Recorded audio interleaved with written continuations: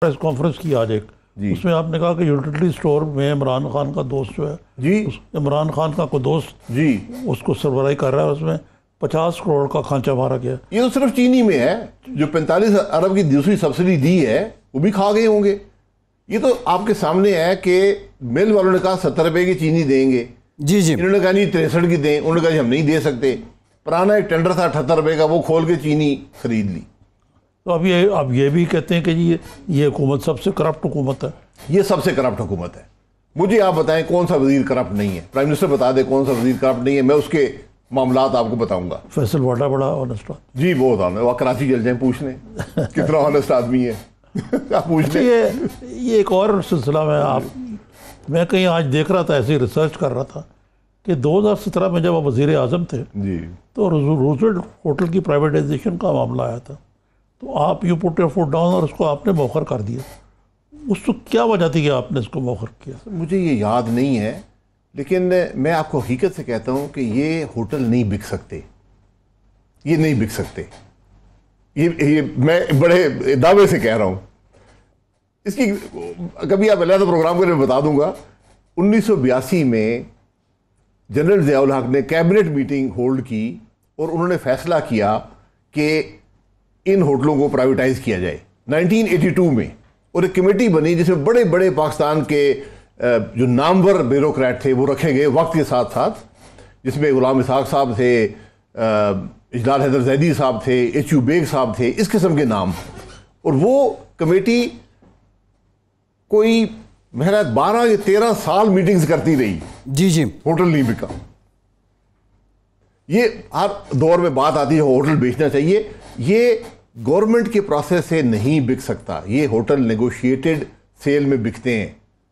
ये build process से नहीं बिक सकते। जी जी। क्योंकि आप और नेगोशिएटेड जब आप करेंगे तो प्राइस इस्टेब्लिश करने का कोई तरीका नहीं है। और ये इस वक्त तो डिस्ट्रेस सेल है अगर आप बेचें वैसे भी। जो है वो, वो वक्त के साथ होता है। हकीकत ये है कि जितना पैसा आप इसमें इन्वेस्ट कर चुके हैं बमुश्किल आप वो पैसा रिकवर करेंगे। वो पैसा और उसकी अपॉर्चुनिटी कॉस्ट जो पैसे की होती है वो आप रिकवर करेंगे। इट इज़ नॉट ऐसी तरह नज़र आता है कि ये जी डेढ़ अरब डॉलर का नहीं जी, सकता नहीं नहीं नहीं माजरत से नहीं। जी जी। तो हाँ ये स्मॉल प्रिंट लोगों को नहीं स्मॉल प्रिंट फिर टैक्स कितना लगेगा? ये भी किसी को पता है? कहते हैं कि फोर्टी फिफ्टी परसेंट जी मैं यही कह रहा हूँ ना तो बेच के जो आखिर में आपको मिलेगा ना आप यकीन करें जो पीआईए की इन्वेस्टमेंट उसके अंदर हुई हुई है वो भी आप रिकवर नहीं कर पाएँगे। ठीक है। ठीक। जी जी। भाई साहब ये ये जो आज आपने ये जो आज फैसला किया है काबीना की निचकारी कमेटी ने अब आप प्राइम मिनिस्टर भी रहे हैं एक तो ये बता दें ये निचकारी कमेटी को मुशीर ख़जाना कैसे हेड करते हैं जब प्राइवेटाइजेशन मिनिस्टर मौजूद हैं? दूसरा ये इसी बलबूते पे किया है कि ये बड़ी रियलिस्टिक अप्रोच उन्होंने देखी कि ये बिक नहीं सकते और उन्होंने कहा कि बेहतर है कि अब इसको पासपोन ही कर दिया जाए थर्ड पार्टी दे दिया जाए।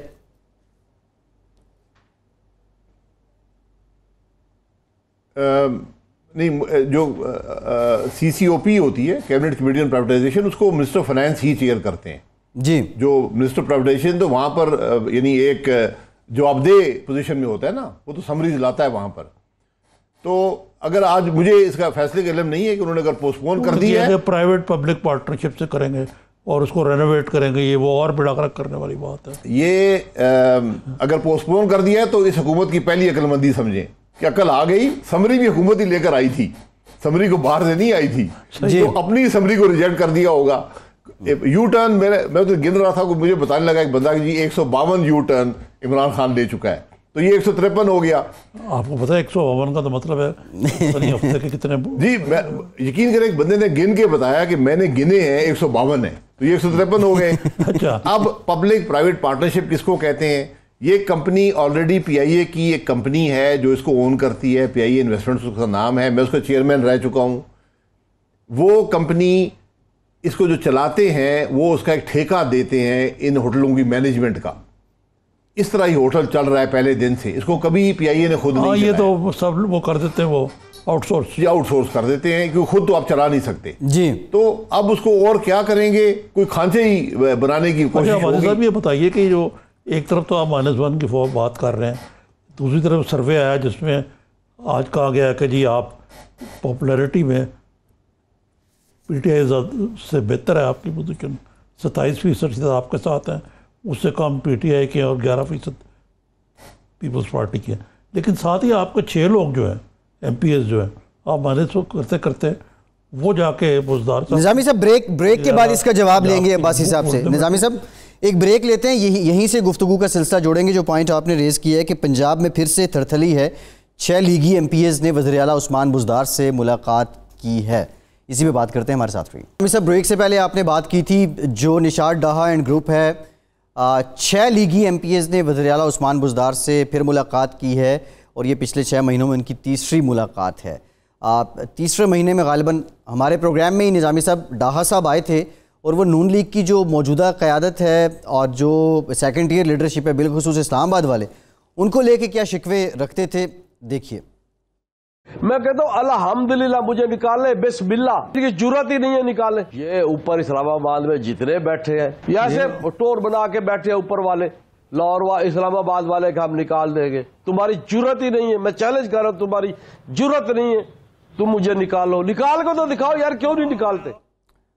निज़ामी साहब, ये दूसरी मुलाकात पे उनके तासुरात थे चैलेंज कर रहे थे इस्लामाबाद की नून लीग की क्यादत को। अब तीसरी हो गई है। तो अब्बासी साहब ही बता दें, क्या आप कार्रवाई तो करेंगे जो पार्टी में है, लेकिन ऐसा क्यों हो रहा है? लोग क्यों टूट रहे हैं नून लीग के? देखें, ये नून लीग के लोग टूट नहीं रहे। जिसे ज़मीर बेचना होता टूटता नहीं है। ये ज़मीर फरोश लोग हैं। अगर हिम्मत है तो अपनी सीट छोड़ें। पार्टी के टिकट पर इलेक्ट हुए थे, सीट छोड़ें, इलेक्शन में हिस्सा लें और वापस आ जाएँ। अगर हिम्मत है, ये सियासत का असूल होता है। हमें चैलेंज करने का को कोई फ़ायदा नहीं है, ना टिकट के लिए अप्लाई करें नेक्स्ट टाइम अगर आप इस जमात में नहीं रह सकते तो जाएँ कोई और काम करें। ये सारी नाकामी हुकूमत की है। जब वज़ीर आला अपने आप को कमज़ोर महसूस करे, हुकूमत कमज़ोर महसूस करे तो वो चंद ज़मीर फरोश पकड़ के सामने खड़े कर देती है कि जनाब, ये देखें जी, ये लोग भी भाई, उनके जाने से नून लीग को नुकसान नहीं होगा। हम तो उनको एक दिन में डिसीड कर सकते हैं। और मैं तो सिफारिश करूँगा शहबाज साहब से कि ऐसे लोगों को जमात से भी बाहर करें, जो ऐसे चैलेंज दे रहे हैं। ये तो एक तरफ़ ज़मीर फरोशी और एक तरफ़ चैलेंज तो आपने अपना ज़मीर बेचना है तो उससे बेहतर है कि छोड़े, सीट को फिर इलेक्शन लड़ें। और मैं बुजदार साहब को कहूँगा कि आपकी इज़्ज़त में ऐसे लोगों को मिलने से इजाफा नहीं होता। वो ज़माने चले गए हैं। आप क्या दिखा रहे हैं कि मैंने छः बंदे खरीद लिए? मैंने हॉर्स रेडिंग शुरू कर दी। यानी आप कमज़ोरी शो कर रहे हैं। तो बहरहाल ये उनको मुबारक हो। अब ये मामला ज़्यादा देर चलने वाला अच्छा, नहीं आपने एक बात कही है बड़ी अहम कि बुजदार साहब आपने कहा कमज़ोर कमज़ोरी की निशानी है उनकी। तो इस वक्त बुजदार साहब का कोई संघासन डोल रहा है? एक तो नाम भी आ रहे हैं उनकी रिप्लेसमेंट के तौर पे। देखिए, बुजार साहब तो पहले दिन से उनकी कोई हैसियत नहीं थी सियासत में। वो तो पता नहीं किस मकसद के लिए उनको लाया गया है। बड़ा लाया गया चीफ मिनिस्टर बन गए हैं, उनको मुबारक हो। तो अब हुकूमत करें, अवाम के मसाइल हल करें। जो पंजाब की हालत आज है, आप यकीन करें, मैंने कभी ये हालात पंजाब में नहीं देखे। ना स्कूल चलते हैं, ना अस्पताल चलते हैं, ना डेवलपमेंट हो रही है, कुछ भी नहीं है। हुकूमत एग्जिस्ट ही नहीं करती। M N M P A जो हकूमती बेंचेस के हैं वो तंग हैं कि कोई काम ही नहीं हो रहा। तो अब आपने छः बंदे खरीद लिए हैं तो बुजदार साहब को मुबारक हो। उन छः अफराद को भी ज़मीन बेचने पर मुबारक हो। अच्छा लेकिन इस वक्त ये आपने कहा वोट भी कम मिले। ये बजट के मौके पे। जी आपके सामने है। आ, हाँ, फिर ये है कि एक नाराज़ ग्रुप जो है वो डिनर के बाद अलग मिला। हमने सुना था राजा रियाज की ज़बानी के बाईस लोगों का पंद्रह लोगों का ये तो खासे लोग जो हैं, उसमें कोई सेटिंग कर रहे हैं। तो ये, इस सारे तनाजर में कोई स्पीकर के ख़िलाफ़ नो कॉन्फिडेंस पहले की हो रहा है, या इस हुकूमत को आप कहेंगे कि आप वोट ऑफ़ कॉन्फिडेंस लें, या कोई नो कॉन्फिडेंस लेके आएँगे? कोई इस किस्म की हमत अमली है पी सी के जेर गौर अगर हुआ नहीं ये देखिए ये ये बातें एपीसी में डिस्कस होंगी। अभी तक कोई हमत अमली ऐसी है नहीं। हम तो तमाशा हुकूमत का देख रहे हैं कि हुकूमत नाकाम हो चुकी है। उसको अपने अंदर इंतशार है। उनके इतिहादी अलहदा हो रहे हैं अपने मम्बरान नाराज़ हैं और हुकूमत अक्सरियत डेमोन्स्ट्रेट करने में दिखाने में असेंबली में नाकाम रही है। जी। जी है भाई साहब।